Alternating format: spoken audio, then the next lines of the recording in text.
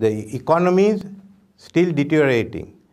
The government has a shortage of dollars and the government has a shortage of rupees. They are trying to solve this issue by printing rupees. Today, the actual value, the market value of the rupee is 250 rupees to a dollar. And it's going to increase. It will go up to 275 rupees a dollar. We must at least try and stop go, going to 300 rupees a dollar.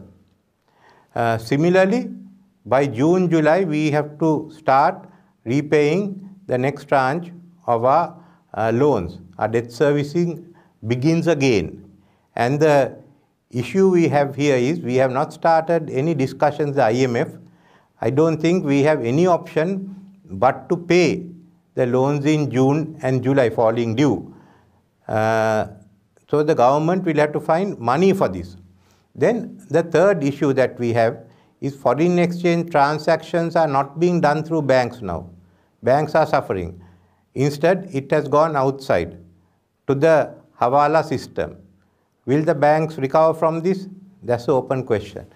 So these are all issues which are really uh, contributing to the misery that we are all facing.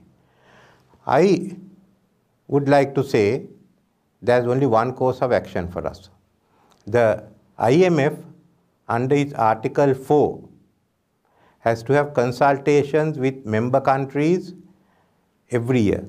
The consultation with Sri Lanka started in December and it is uh, the report will be uh, put before the board next week and after board approval is given it will be released. Once the uh, report is released the government should table a copy of the report in parliament and we should debate the report. We should debate it not on the basis of the positions of our parties or to have party conflict. Let's not look at who was responsible for the situation. Let's look at the report and then consider what are the, the steps that we have to take for recovery. We should come to a consensus about our broad economic policies and our framework. It has to hold for not five years, but 10 or more years. And that is the only way that we can win back the confidence of the world we have to remember that we have only one national asset. That is our young people, what you call the millennials and Gen Z. Their future depends on what we do. They have already lost hope in the future. Then it is our responsibility as parliament to discuss these issues and uh, come to an arrangement on the broad economic uh, principles and the framework that should be there short term, medium term and long term.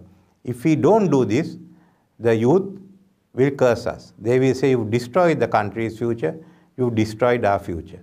Therefore, we must rise to this challenge.